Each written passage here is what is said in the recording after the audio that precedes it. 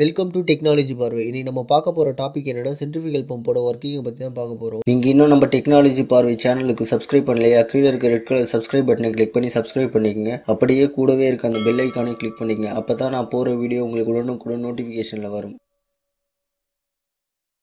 Centrifugal பம்பில் இருக்க மேஜரான பார்ட்ஸ்னு பார்க்கும்போது impeller casing suction pipe discharge pipe இதுதான் சென்ட்ரிஃபிகல் பம்பில் இருக்க மேஜரான பார்ட்ஸ் சென்ட்ரிஃபிகல் பம்ப் இப்போ எப்படி ஒர்க் ஆகுதுன்னா இம்பல்லரில் வந்து ஒரு ஷாஃப்ட் கனெக்ட் பண்ணியிருப்பாங்க. அதே போல் வந்து எலக்ட்ரிக்கல் மோட்டார் அல்லது இன்ஜின் அந்த இம்பல்லர் ரொட்டேட் பண்ணுறதுக்கு அதோட ஷாஃப்ட்டையே வந்து கப்ளிங் மூலியமாக கனெக்ட் பண்ணியிருப்பாங்க.